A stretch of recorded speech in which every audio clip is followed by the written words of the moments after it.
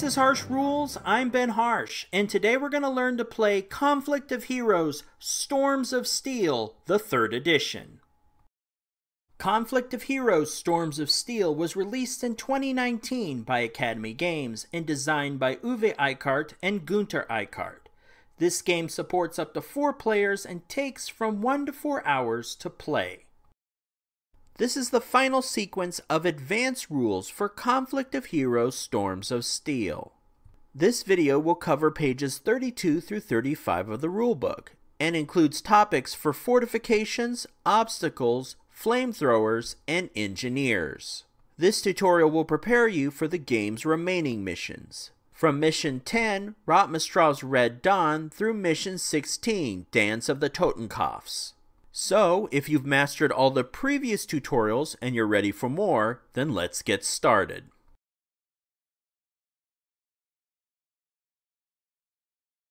The majority of this tutorial is dedicated to fortifications and obstacles. Fortifications typically grant units defense modifiers when they're inhabited. These include trenches, gun pits, bunkers, and hasty defenses. Obstacles, on the other hand, are meant to deter or destroy enemy units. Obstacles include barbed wire and mines. Fortifications are placed on the map during setup, and only one fortification or obstacle can occupy a single hex. Let's walk through each type of unit in these groups, beginning with fortifications.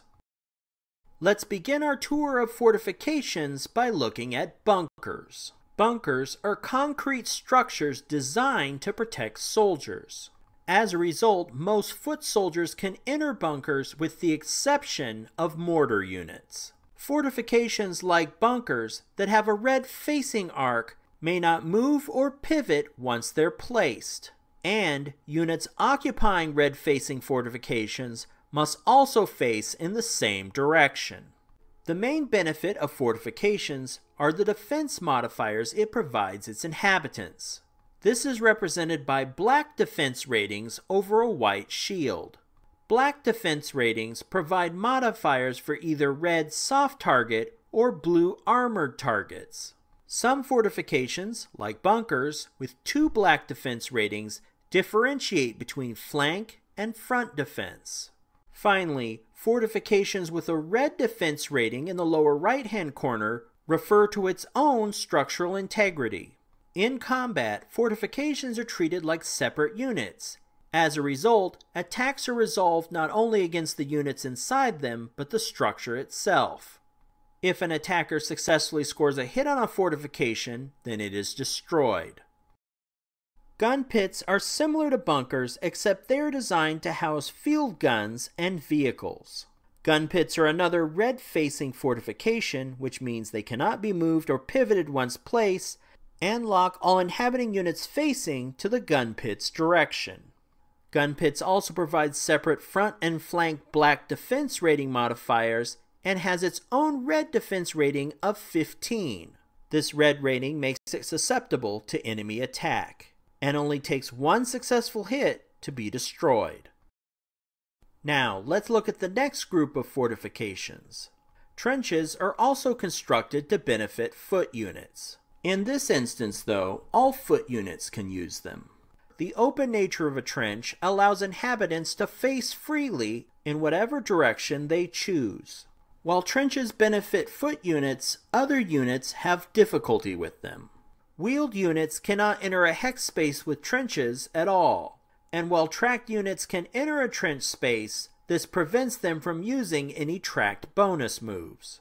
Also, due to the open nature of trenches, their black defense modifier functions in all directions. Finally, trenches have their own red defense rating of 16, which means if another unit can manage a successful hit, the trench would be destroyed.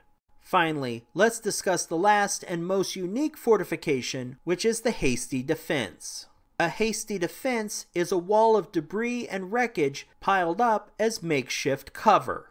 The only units that can enter a hasty defense are the ones that built it.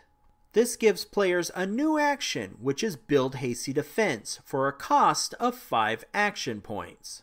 Alternatively, one battle card also enables players to build a hasty defense. Much like trenches, units inside a hasty defense can face in any direction. They also receive a black all direction defense modifier. Finally, the hasty defense's own defense rating is 13. While not as elegant as a bunker or a trench, the hasty defense is better than nothing. Fortifications inside a hex space add an extra dimension to movement and unit placement. Fortifications can also be considered open or unoccupied, or closed to enemy units. Friendly units can always enter occupied fortifications to join their fellow units, unless stated otherwise by that specific unit's rules. With this framework in mind, let's discuss entering hexes with fortifications and exiting hex spaces with fortifications. When moving units into a hex space with fortifications, they have two options. If the fortification in the hex space is unoccupied, they may immediately enter it, or they may choose to occupy the space surrounding the fortification. Occupancy is communicated by the position of the counters. If a unit has entered a fortification, the counter is placed beneath the fortification counter and if the unit is outside the fortification but still in the same hex space, then that unit's counter is placed above the fortification counter. Therefore, if an enemy unit chooses to enter the hex space, they cannot enter the fortification if it's occupied by the enemy, but they can still enter the space around the fortification. Therefore, their counter is placed on top of the fortification counter. As a side note, there is no limit to the number of friendly units that may enter a fortification unless specified otherwise. Finally, units may exit the fortification and remain in the same hex space, or move directly from the fortification to an adjacent hex space. All of this is managed by the counter placement in relation to the fortification counter. Keep these rules in mind when managing multiple counters in the same hex space with a fortification.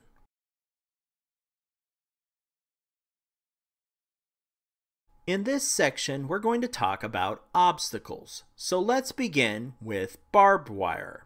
Barbed wire makes it more difficult for units to move into or through a hex. Barbed wire prevents wheeled units from entering a hex. If a foot unit enters a hex with barbed wire, roll one six-sided dice and add the die result to the unit's movement cost. This can greatly increase the chance that the foot unit will become spent when entering the hex.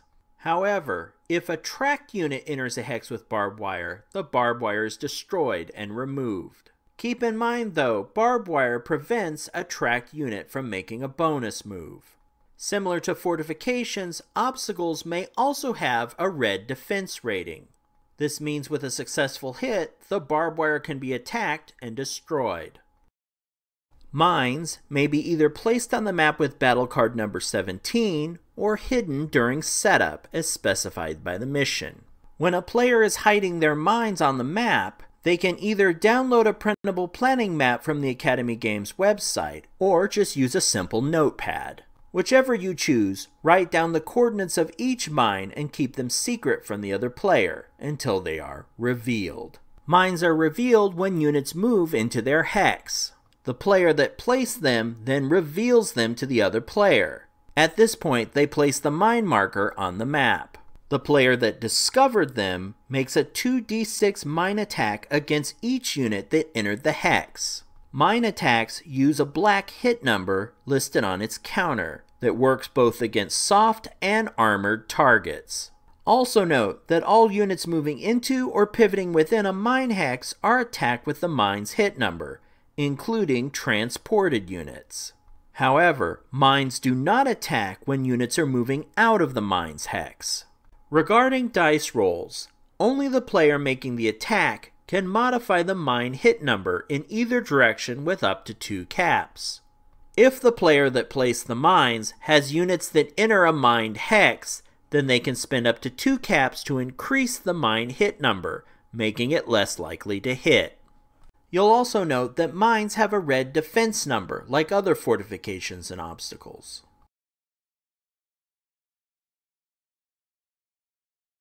Storms of Steel also includes units equipped with flamethrowers. These units are Panzer engineers and a variation on the Panzer III tank. The flamethrower capability is identified by the flame symbol. An important note about flamethrowers is they have different stats than those listed on the counter, which are that unit's normal attack ability. Units equipped with a flamethrower weapon may choose to attack with it instead of their normal firepower stats. Flamethrowers have a firepower of 3 versus soft and armored targets. They have a maximum range of 1 hex space. However, they do receive close and short range attack rating bonuses. Targets of flamethrower attacks must use their flank defense. And flamethrowers ignore all defense modifiers except light smoke and heavy smoke. Additionally, any hidden units attacked by flamethrowers are immediately revealed. Finally, let's talk about engineers. Engineers are specially trained units outfitted to assault enemy positions. They follow all the rules of foot units with the following exceptions. All engineers come equipped with flamethrowers. They may enter a mine hex without triggering them. After that, the hidden mines are revealed. And they can use their attack action to deploy smoke, either into their own or an adjacent hex. Keep these rules in mind whenever there are engineers in your game.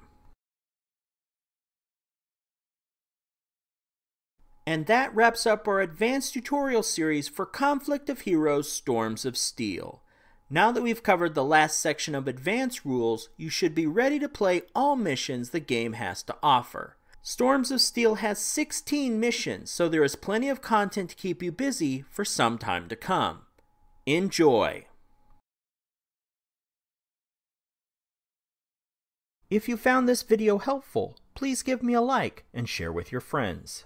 To be the first notified when the next episode of Harsh Rules becomes available, please hit the bell icon for notifications.